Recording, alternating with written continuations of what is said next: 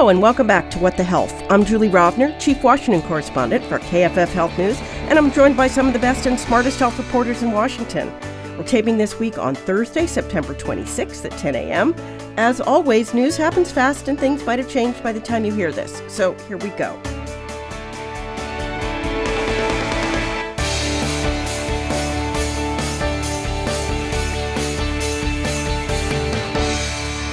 Today, we are joined via teleconference by Lauren Weber, The Washington Post. Hello, hello. Alice Ollstein of Politico. Good morning.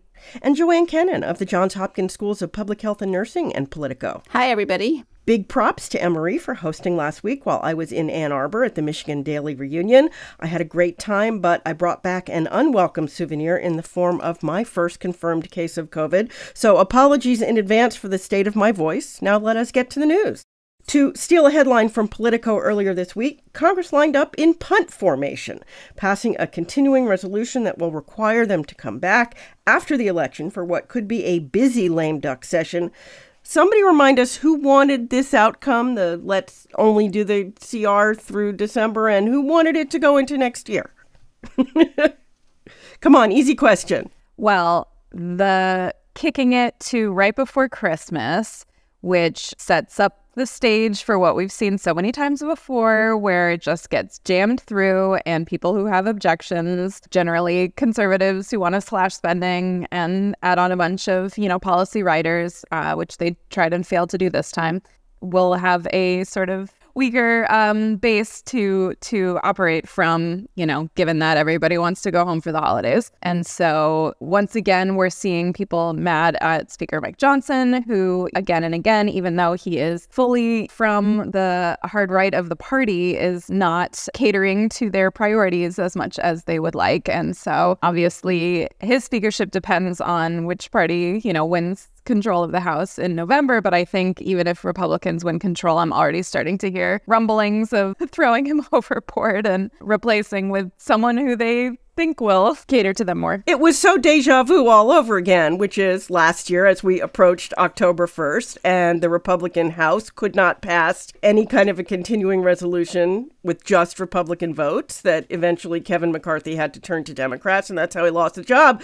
And yet, that's exactly what happened here, which is the Republicans wanted to go until March, I guess on the theory that they were betting that the that they would be in full power in March and would have a chance to like do a lot more what they wanted in terms of spending bills than if they just wait and do it in the lame duck. And yet, you know, Speaker doesn't seem to be paying the same price that Kevin McCarthy did. Is that just sort of acknowledgement on the part of the right wing that they can't do anything with their teeny tiny mm-hmm. majority? I mean, yes, it's pretty stalematey up there right now, and nobody's certain who's going to control the House. And at this point, it is likely to still be a narrow majority, whoever wins it. I mean, there's six weeks out, things can change. This has been an insane year. Nobody's making predictions, but it looks like pretty divided. Yeah, who, We're a pretty wins divided. going to win by much. Right, we have a pretty yeah. divided country, and the likelihood is we're going to have a pretty divided House. So the dynamic will change depending on who's in charge. But the Republicans are more fractious and divided right now than the Democrats, although that's really easy to change. And um, I mean, the Democrats have gone through their rambunctious divided phases too. It, everybody just doesn't know what's next because the top of the ticket is going to change things. So the more months you push out, the less money you're spending. If you control the CR, if you make the CR the continuing resolution, meaning current spending levels for six months, it's win, it's a win for the Republicans in, in many ways because they're keeping they're preventing increases. But in terms of policy, you know, both sides get some of the things they want extended. So it's sort of a, I don't know if you can call it a productive stalemate. That's sort of a contradiction in terms. But I mean, for the Republicans, longer it would have been better. But so now that we know that Congress has to come back after the election, there's obviously things that they are able to do other than just the spending bills. And I'm thinking of a lot of unfinished health legislation like the telehealth extensions and you know the constant like are we going to do something about pharmacy benefit managers which has been this bipartisan issue that they never seem to solve i would remind the the listeners that in 2022 after the election that's when they finally did the surprise bills legislation so doing big things in the lame duck is not unheard of. Is there anything where any of you are particularly looking toward this time that might actually happen? It's something like telehealth because it's not that controversial. I mean, it's easiest to get something through in lame in lame duck. You want to get some things off the plate that are either overdue and need to be taken care of or that you don't want hanging over you next year. So telehealth, which is sort of a you know, there are questions about does it save money, et cetera, and you know what form it should take and how it, some of it should be regulated, and so forth. But the basic idea, telehealth is popular. Something like that, yes. PBMs is a lot harder, where there is some agreement on the need to do something, but there's less agreement about what that something should look like. So, although I'm not personally covering that day-to-day basis in any sense that's harder the the more more consensus there is and the fewer moving parts the easier it is to do as a rule i mean sometimes they do get something big done in lame duck but a lot of it gets kicked. And also, there's a huge, huge, huge tax fight next year. And it's going to require a lot of wheeling and dealing, no matter what shape it takes, because it's expiring and things have to be either renewed or allowed to die. So that's just going to be you know, mega enormous. And a lot of this stuff become bargaining chips in that larger debate. And that becomes the dominant domestic policy. Well, even before we year. get to the lame duck, we have to finish the campaign, which is only oh, a month and a half away. And we are still talking about the Affordable Care Act in an election where it was not going to be a campaign issue, everybody said. I know that you talked last week about all the specifics of the ways former President Trump actually tried to sabotage rather than save the ACA and all the ways what J.D. Vance was talking about on Meet the Press, dividing up risk pools once again, so sicker people would no longer be subsidized by the less sick, would turn the clock back to the individual insurance market as it existed before 2014. Now the Democrats in the Senate are taking one last shot at the ACA with a bill that will fail to renew the expanded marketplace subsidies that will expire unless Congress acts by the end of next year. Might this sort of last effort have some impact in the swing states, or is it just a lot more campaign noise? I think this is a lot of campaign noise to some extent. I mean, I think Democrats are clear, and polling shows that the average American voter does trust Democrats more than Republicans on ACA and health issues and health insurance. So I, I do think this is a messaging push in part by the Dems to speak to voters. As we all know, this is a turnout election. So I think anything that they feel like voters care about, which often has to do with their pocketbook, I think they're going to lead the drum on. I, I do think it's interesting, again, that JD Vance really is reiterating a talking point that Donald Trump used in the debate, which is that he said he had improved the ACA. And many experts would say it was very much the opposite. I mean, again, I think I did this on the last podcast, but let me let me reread this because I think it's important as a fact check. You know, most of the Trump administration's ACA related actions included cutting the program. So they reduced millions of dollars of funding for marketing and enrollment, and he repeatedly tried to overturn the law. So I think some of the messaging around this is getting convoluted in part because it's an election year. To your point. And because it's popular. Because Nancy Pelosi was right. When people found out what was in it, it got popular. I think there are two things. I mean, I agree with what Lauren just said, but the Democrats came out in favor of extending the enhanced subsidies yesterday, which not only changed the eligibility criteria. More people, more higher up the middle income chain, could get subsidized, but also everybody in it had extra benefits for it, including people who, who were already covered, but it's better for them. The idea that Republicans are going to try to take that benefit away from people six weeks before an election, they were probably not. You know, how they handle it next year. I was really surprised by the silence yesterday. The Democrats rolled out their plans for renewing this, and I didn't see a lot of Republican pushback. So they were really quiet about it. The other thing that struck me is that, you know, J.D. Vance went on on this risk pool thing last week on Meet the Press and in Raleigh, in North Carolina, and, and then there was pushback. And on that particular point, there's been silence for the last week. I don't think he stuck his neck out on that one again. Who knows what next week will bring, but it didn't continue. And nor did I hear other Republicans saying, yeah, let's go do that. So if that was a trial balloon, it was somewhat leaden. So I think that we really don't know how the subsidy fight is going to play, how or when the subsidy fight will play out. It's really, you know, we've all said many times before, once you give people a benefit, it's really hard to take it away. And although uh, we did that with the child tax credit, we, we did everybody we did child tax credit and then took it away. We did, so. Oh. and and other things that were temporary during the pandemic, and we'll just see how many of those temporary things do in fact go away. I mean, does it come back next year? I mean, now SALT, right? I mean, Trump backed backing what's called SALT. It's a limit based on mortgage and state taxes, and and now he's talking about he's going to rescue that, like it wasn't him who you know got it. So it all comes around again. yeah. And I think what you're seeing is both sides sort of drawing the battle lines for next year and sort of signaling what the core arguments are going to be. And so you had Democrats come out with their bill this year.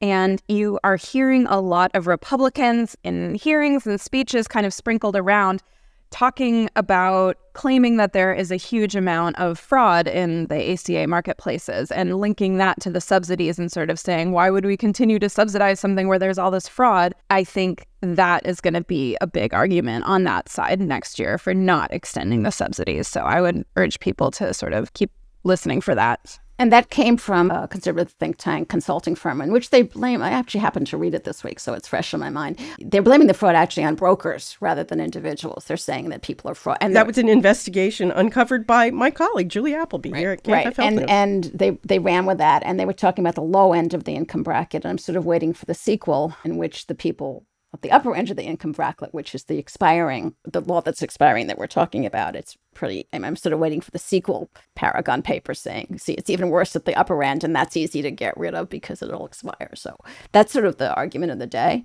But, you know, there's so many flavors of anti ACA arguments that we've, we've just scratched the beginning of this round. Exactly. It'll come back. All right. Well, let us move on to abortion. Vice President Harris uh, said in an interview this week that she would support ending the filibuster in the Senate in order to restore abortion rights with 51 rather than 60 votes, which has apparently cost her the endorsement of retiring West Virginia Democratic Senator Joe Manchin. Was Manchin's endorsement even that valuable to her? It's not like West Virginia was going to vote Democratic anytime soon. The Harris campaign has really leaned into emphasizing endorsements she's been getting from across the ideological spectrum, from as far right as Dick Cheney to more, you know, centrist types and economists and national security people. And so she's clearly trying to burnish her uh, you know, centrist credentials. Um, so I guess in that sense, but like you said, Democrats are not going to win West Virginia. And so I think also, you know, he was getting upset about something, a position she's been voicing for years now. So this this is not new.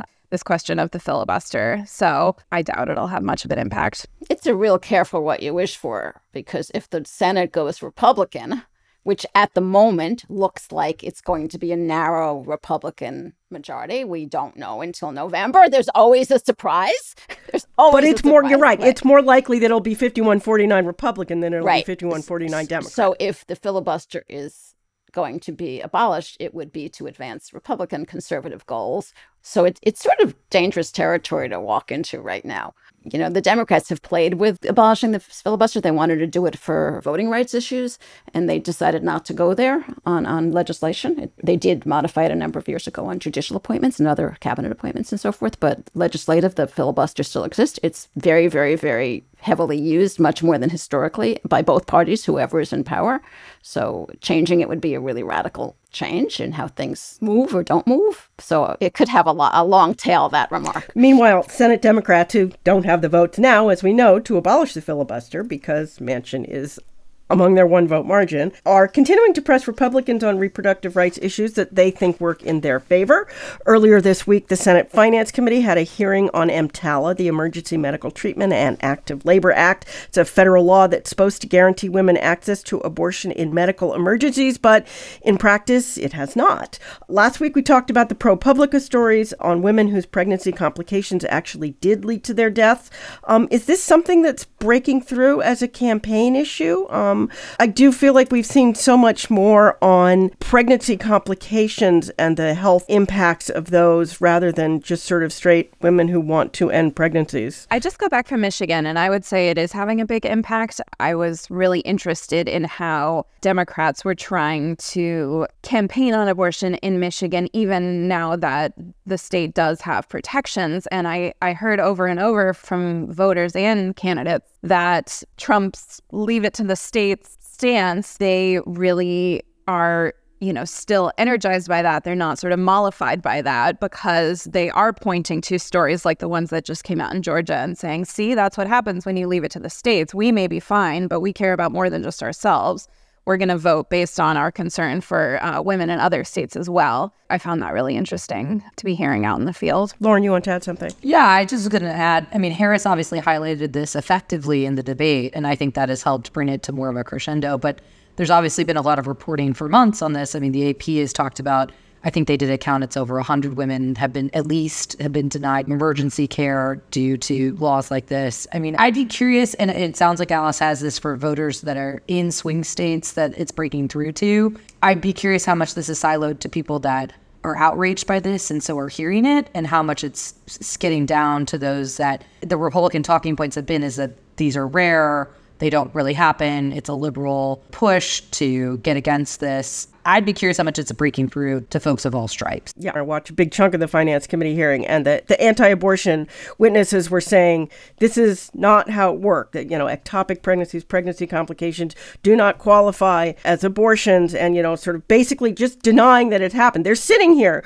they're sitting at the witness table with the woman to whom this happened, and saying that this does not happen. So it was a little bit difficult, shall we say? Well, and to, the the, pu- the pushback I've been hearing from the anti-abortion side is less that it's not happening and more that it's not the fault of the laws it's the fault of the doctors they are claiming that doctors are either intentionally withholding care or are wrong in their interpretation of the law and are withholding care for that reason they're sort of pointing to the letter of the law and saying oh no it doesn't say you know let women bleed out and die so clearly it's fine they're not really grappling with the chilling effect it's having Although we do know that in Texas, when uh, I think it was Amanda Zurawski, there was whoever. Oh no, it was um, uh, it was Kate Cox who actually got a judge to say she should be allowed to have an abortion. That the that Ken Paxton, the Texas Attorney General, then threatened the hospital that said, "If you do this, I will come after you." On the one hand, they say, "Well, that's not you know what the law says." On the other hand, there are people saying, "Yeah, that's what the law says." Turning to the Republicans, Donald Trump had some more things to say about abortion this week, including that he is women's protector and that women will, and I quote, be happy, healthy, confident, and free. You will no longer be thinking about abortion. If that wasn't enough, in Ohio, Bernie Moreno, who's the Republican running against Senator Sherrod Brown uh, in uh, the otherwise very red state, said the other night that he doesn't understand why women over 50 would even care about abortion since he kind of suggested they can no longer get pregnant, which isn't correct, by the way. But who exactly are the voters that Trump and Moreno are going after here? Uh, Moreno's already lagging in the polls. Sherrod Brown is pretty liberal Democrat in an increasingly conservative state, and he's he's also very popular. And it looks like he's on a glide path to win. And this probably made it easier for him to win. And there are men who support abortion rights, and and there are women who oppose. I mean, this country's divided on abortion, but it's not age related, and it's not like there's this. If you're under fifty and female, you care about abortion, and nobody else does. I mean, that's really not the way it works. Fifty year old and older women may, some of whom had abortions when they were younger, will want that right for younger women, including their daughters. It's not a quadrant. You know, it's not like, oh, only this segment cares. It's interesting that it comes amid Democrats really working to broaden who they consider an abortion voter. Like I said, you know, trying to encourage people in states where abortion is protected to vote for people in states where abortion is not protected and doing more outreach to men. Um, and saying, you know, this is a family issue, not just uh, a women's issue, um, and this affects everybody. So, as you see Democrats trying to broaden um, their outreach and get more people to care, you know, you have Bernie Moreno saying the opposite, saying, you know, I don't understand why people care when it doesn't affect their own particular life and situation. Although I will say, having listened to a bunch of interviews with undecided voters in the last couple of weeks, I do hear more and more voters saying, well, such and such candidate, and it's, this is on both sides, is not speaking to me. It's almost like if this election is about them individually and not about society writ large. And I do hear that on both sides, and it's kind of a surprise. And I don't know, is that maybe where Moreno's coming from? Maybe that's what he's hearing too from his pollsters. It's like it's only that people are most interested in their own sort of self interest and not about others. Lauren, you wanted to add to that? I mean, I would just say I think that's a kind interpretation, Julie. I mean, I I I think that more likely than not, he was just speaking out of turn. And I mean, in some prior reporting I did this year on misinformation around birth control and contraception, I spoke to a bunch of women legislators. I believe it was in Idaho who found that in speaking with their male legislator friends that a lot of them were uncomfortable talking about abortion, birth control, et cetera, which led to a lot of these misconceptions. And I, I wonder if we're seeing that here. Just quickly, I think it's also reflective of, you know, a particular conservative mindset. I mean, it reminds me of, you know, when I was covering the Obamacare fight in Congress and you had Republican lawmakers making jokes about, oh, well, you know, wouldn't want to lose coverage for my mammograms. And just what we were just talking about, about the separate risk pools and saying, oh, I'm healthy. Why should I subsidize a sick person when that's literally how insurance works? But I think just the very individualistic, go it alone, rugged individual mindset is coming out here in, in different ways. Um, and so it seems like he did not want this particular comment to be uh, scrutinized as it is getting now. But I think we hear versions of this from conservative lawmakers all the time in terms of why should I have to care about, pay for, subsidize, etc., you know, other people in society. Yeah there's a lot of that. Well, finally, this week in reproductive health issues that never seem to go away, a federal judge in North Dakota this week slapped an injunction on the Equal Employment Opportunity Commission's enforcement of some provisions of the 2022 Pregnancy Workers Fairness Act, ruling that Catholic employers, including for profit Catholic owned entities, don't have to provide workers with time off for abortions or fertility treatments that violate the church's teachings. Now, lest you think this only applies to North Dakota, it does not. There's a long way to go before this ruling is made permanent, but it's kind of awkward timing for Republicans when they're trying to convince voters of their strong support of IVF. And yet, here we have a large Catholic entity saying, we don't even want to give our workers time off for IVF. Yeah, I think you've been hearing a lot of Republicans sort of scoffing at the idea that anyone would oppose IVF when there are many, many conservatives who do either oppose it in its entirety or impose certain ways that it is currently, you know, commonly practiced. You had the Southern Baptist Convention vote earlier this year. Um, it's in opposition to IVF. You have these Catholic groups who are suing over it, and so. I think there needs to be a real reckoning with the level of opposition there is on the right. And I think that's why you're seeing an interesting uh, response to Trump's promise for free IVF for all Mm-hmm. and whether or not that is feasible, I think this shows that it would get a lot of pushback from groups on the right if if they were ever to pursue that. Yeah, I will also note that this was a Trump appointed judge, which is pretty, you know, it, it, the, the EEOC, when they were doing these final regulations, acknowledged that there will be cases of religious employers and that they will look at those on a case by case basis. Um, but this is a pretty sweeping ruling that basically says we're back to sort of the Hobby Lobby Supreme Court case. If you don't believe in something, you don't have to do it. I mean, that's essentially where we are with this, and we will sort of see as this moves forward. Um, well, moving on to another big election issue drug prices. The CEO of Novo Nordisk, makers of the blockbuster obesity and, uh, and diabetes drugs Ozempic and Wegovy, appeared at the Senate Health, Education, Labor, and Pensions Committee on Tuesday in front of Senator Bernie Sanders, who has been one of their top critics. And maybe it's just my COVID addled brain, but I watched this hearing and I couldn't make heads or tails of how Lars Jorgensen, the CEO, tried to explain why either the differences between prices in the US and other countries for these drugs weren't really that big, or how the prices here are actually the fault of PBMs, not his company. Was anybody able to follow this? It was super confusing, I will say, that he tried to, you know, first he says that, well, 80% of the people with insurance coverage can get these drugs for $25 a month or less, which I'm pretty sure only applies to people who are using it for diabetes, not for obesity, because I think most insurers aren't covering it for obesity. And there was sort of much backing and forthing about how much it costs and how much we pay and how much it would cost uh, the country to actually allow people, everybody who's eligible for these drugs, to use them, and no real response. I mean, this is a big deal campaign issue, and yet I feel like this hearing was something of a bust. I mean, do we really expect a CEO of a highly profitable drug to promise to reduce it immediately on the spot? I mean, like, I guess I'm not surprised that the, the hearing was a back and forth, you know, from, from what I understand of what happened.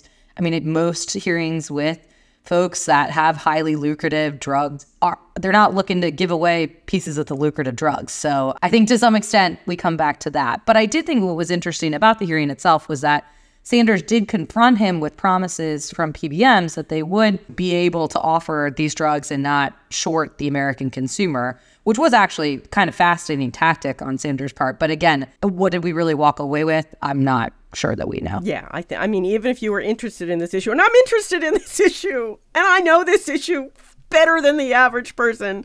As I said, I literally could not follow it. I found it sort of super frustrating. I mean, I know what Sanders was going for here.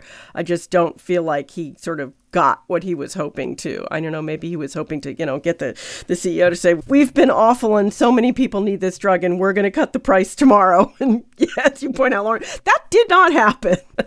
but we shall see. Well, speaking of PBMs, the Federal Trade Commission late last week filed an administrative complaint against the nation's three largest PBMs, accusing them of inflating insulin prices and steering patients toward higher cost products so they, they the PBMs, can make more money, which is, of course, the big big problem with PBMs, which is that they get a piece of the the action. So the more expensive the drug, the bigger the piece of the action that they get. I was most interested in the fact that the FTC's three Democratic appointees voted in favor of the legal action. Its two Republican appointees didn't vote, but actually recused themselves. This whole PBM issue is kind of awkward for Republicans who say they want to fight high drug prices, isn't it?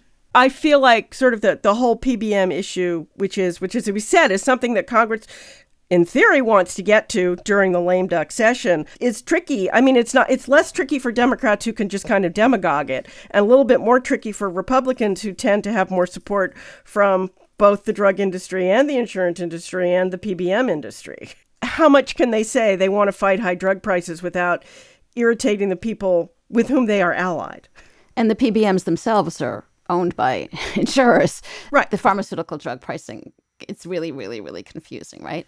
I mean, nobody understands. If we had it. to, the four of us, none of us cover pharma full time, but the four of us are all pretty sophisticated healthcare reporters. And if we had to take a final exam on the drug industry, none of us would probably get an A plus. Um, so I'd be surprised if they figure this out in lame duck. I mean, they could. There's always the possibility that, that when they look at the outcome of things, they decide we just we do need to cut a deal and get this off the plate. This is the best we're going to get. We're going to be in a worse position next month, and they do it. But it just seems really sticky and complicated, and it doesn't feel like it's totally gelled yet to the point that they can move it.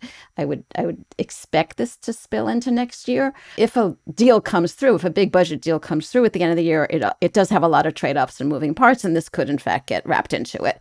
I, my my if I had to guess, I would say it's more likely to spill into the following year, but maybe they've decided they've had enough and want to tie the bow on it and move on.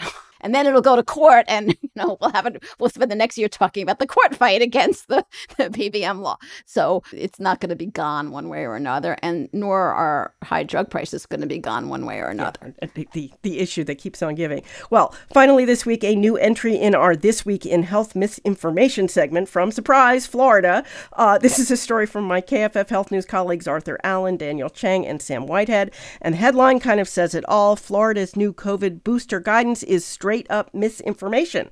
This is the continuing saga involving the state surgeon general, Joseph Ladapo, who's been talking down the mRNA COVID vaccine for several years now and is recommending that people at high risk from COVID not get the latest booster. What surprised me about this story, though, was how reluctant other health leaders in Florida, including the Florida Medical Association, have been to call the Surgeon General out on this. Um, I guess to avoid angering his boss, Republican Governor Ron DeSantis, who's known to respond to criticism with retribution.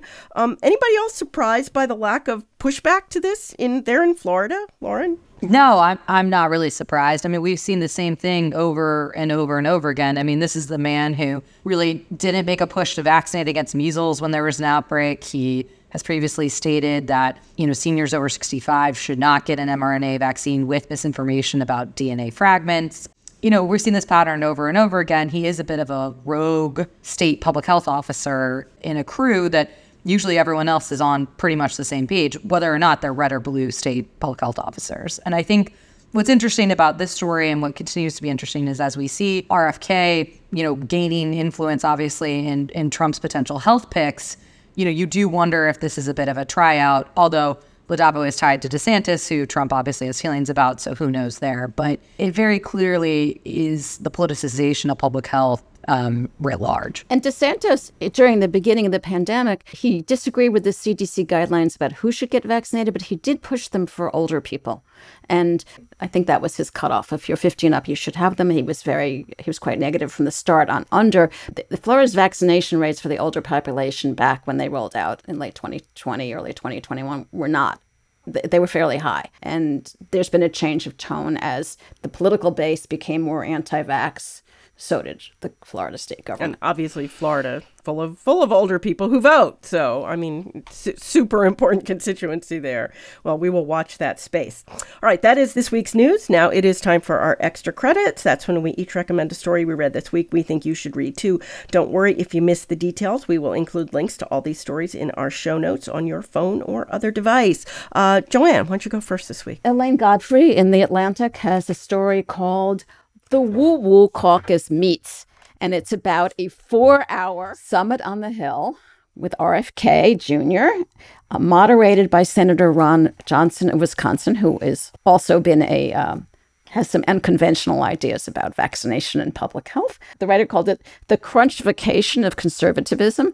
It was the merging of the anti vax pharma skeptic left and the Trump right. And RFK Jr. talking about Maha making America healthy again and his sort of priorities for what he expects to be a um, leading figure in some capacity in a Trump administration fixing our health. It was a really fun just a little bit of sarcasm in that story, but it was a good read. Yeah, and, and I would point out that this goes, I mean, back more than two decades, which is that the anti-vax movement has always been this sort of combination of the far left and the far right. But it's changed so. now. I mean, the, the, yeah. the, medical liberty movement, the you know medical freedom movement, and the libertarian streak has changed. It started changing before COVID, but it's it's not the same yes. as it was a few years ago. It's much more conservative dominated or conservative slash libertarian dominated. Alice, I have a interesting story from STAT. It's called How Special Olympics Kickstarted the Push for Better Disability Data. It's about how the Special Olympics, which uh, just happened over the years, have helped shine a light on just how many people with um, developmental and intellectual disabilities just aren't getting the health care that they need and aren't even getting recognized as having those disabilities. And the data we're using today comes from the Clinton administration still. It's way out of date. So there have been improvements because of these programs like Healthy Athletes that have been launched around this, but it's still nowhere near good enough. And so this was a really, yeah, fascinating story on that front and on a population that's really falling through the cracks. It really was. Lauren. Um, I actually picked an opinion piece in Stat that's called, quote, How the Next President Should Reform Medicare by Paul Ginsburg and Steve Lieberman. And I want to give a shout out to my former colleague, Fred Schulte, who basically has single handedly revealed, and now obviously there's been a lot of follow on coverage, but he was really beating this drum first, how much Medicare Advantage is overbilling the government. And Fred, through a lot of FOIAs and, and KFF has sued to get access to these documents, has shown that through government audits, the government's being charged billions and billions of dollars more than it should be to pay for Medicare Advantage, which was billed as better than Medicare and a free market solution and so on. But the reality billed is, as cheaper than Medicare, and billed as cheaper, which it's not. um, it's not. And this opinion piece is really fascinating because it says, like, look, no presidential candidate wants to talk about changing Medicare because all the folks that want to vote usually have Medicare. But something that you really could do to reduce Medicare costs is getting a handle around these Medicare Advantage astronomical sums. And I just want to shout out Fred because I, I really think this kind of opinion piece is possible due to his tireless coverage to really dig into what's some really wonky stuff that reveals a lot of money. So, yes, I feel like we don't talk about Medicare Advantage enough. And we will change that at some point in the not too distant future. All right, well, my story is from KFF Health News from my colleague Noam Levey, along with Ames Alexander of the Charlotte Observer. It's called How North Carolina Made Its Hospitals Do Something About Medical Debt. Those of you who are regular listeners may remember back in August when we talked about the federal government approving North Carolina's unique new program to have hospitals forgive medical debt in exchange for higher Medicaid payments. It turns out that getting that deal with the state's hospitals was a lot harder than it looked. And this piece tells the story in pretty vivid detail about how it all eventually got done. It is quite the tale and well worth your time. Okay, that is our show for this week. As always, if you enjoy the podcast, you can subscribe wherever you get your podcast. We'd appreciate it if you left us a review. That helps other people find us too. Special thanks, as always, to our technical guru, Francis Ying, and our editor, Emmarie Huetteman. Also, as always, you can email us your comments or questions. We're at what the health, all one word, at kff.org, or you can still find me at X. I'm at Jay Rovner. Lauren, where are you? I'm still on X at Lauren Weber HP. Alice? On X at, at Alice Ollstein. Joanne? X at Joanne Kenen and threads at Joanne Kenen 1. We will be back in your feed next week. Until then, be healthy.